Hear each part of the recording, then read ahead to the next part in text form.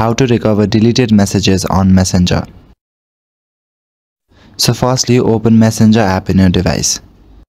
Now inside Messenger make sure that you're logged into your account.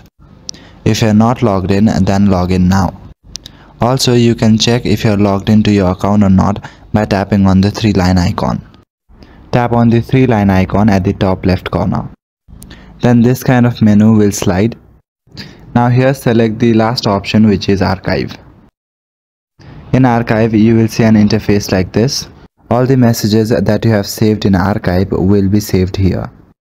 If you want to remove messages from archive then simply slide to the left the message that you want to unarchive. Then tap on the option unarchive and it will be sent to the main page. To check if the message has been moved or not, go to your chat section.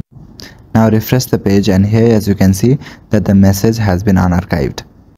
Now go back to your home page and open Google Chrome. There you need to type in your facebook.com and log into your account. Now go to settings in your Facebook, then scroll down a bit. Then you need to search for an option called request copy. After going to that interface, make sure that you have selected all the options after which scroll down to the bottom and tap on create file and this is how you will be able to recover messages from your messenger that is it for this video. I will see you in the next one. Thank you